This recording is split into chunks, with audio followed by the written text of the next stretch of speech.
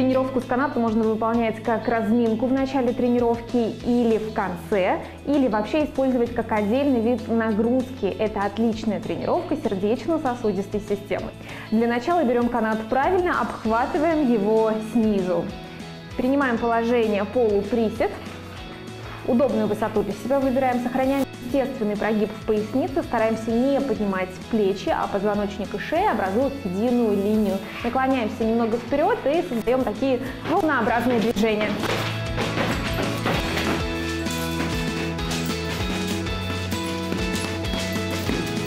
Вы можете самостоятельно регулировать уровень нагрузки. Если канат достаточно натянут, уже на небольшой высоте идет хорошая волна. Если вы разведете руки в стороны, делать будет упражнение гораздо сложнее. Ну а если вы подойдете ближе, руки придется поднимать совсем высоко.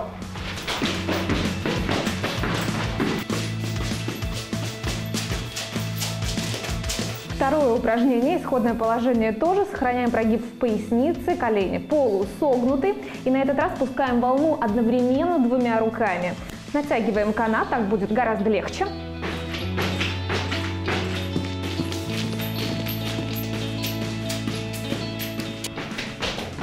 Подходим еще ближе, и так будет выполнять упражнение гораздо сложнее.